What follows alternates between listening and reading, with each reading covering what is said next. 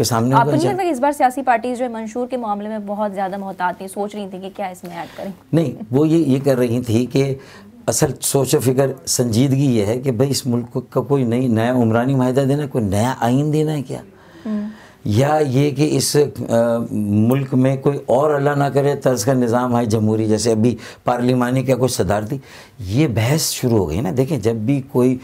जमहूरियत किसी भी वजह से डिलीवर नहीं करती वो वो पार्टिसिपेटरी डेमोक्रेसी नहीं जैसे जिसमें अवाम शरीक नहीं फैसलों पॉलिसी अच्छा, प्रोजेक्ट्स में बहुत ज़रूरी बात कर रहा हूँ बहुत ज़रूरी बात कर रहा हूँ कि अगर। अवाम ही शरीक नहीं है वोटर्स ही शरीक नहीं है हम्म। आपके फैसलों में पार्टिसिपेटरी जमहूरियत नहीं है मेयर बेख्तियार हाथ पर हाथ रख के बैठा उसके पास वसाइल नहीं इख्तियार। वो मोहताज है वज़ीर अला का सारे कचरा उठाना है कचरा उठाना है गटर साफ़ करने हैं सड़कें बनानी है तामीरात building control master plan housing town planning transport अगर ये सारा ही काम वज़ीर। अला को करना है तो फिर बल्दियाती इलेक्शन कराने की ज़रूरत क्या है तो इसीलिए हम कह रहे हैं कि तो आर्टिकल अला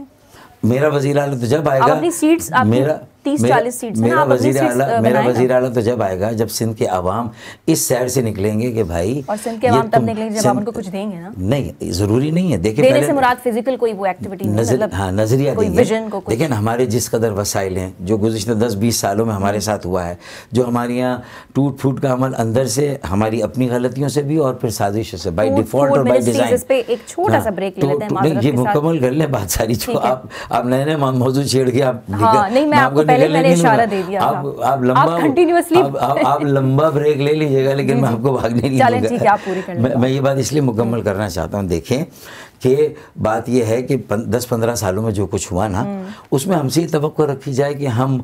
लाड़काना नवाब शाह में एक्सेप्टेबल हो जाएँगे तो अभी इतनी आसानी से नहीं होगा। लेकिन हमने डेंट डाल दिया है। पीपल्स पार्टी के वोट बैंक हुए थे वैसे नवाब शाह लड़काना में आप नहीं हो सकते। मीरपुर खास को तो बहाल करना है वो भी हमसे छीन ली गई हल्का बंदियों में जो दर्जी बिठाया था पीपल्स पार्टी ने इलेक्शन कमीशन के साथ मिलकर 2018 में वो सीट गई कर गई। तो आपको यानी काम करने नहीं दिया जा रहा? दिया ही नहीं जा रहा हमारे तो रास्ते मजदूर किए जा रहे हैं। हर सियासी पार्टी करती है हर सियासी पार्टी की देखें हर सियासी पार्टी की बुनियादी चीज़ों को फिर आप एक बड़ा पैनल बिठा के साफी हजरात एंकर्स तय करें ना कि भाई किसकी बात में सच्चाई है।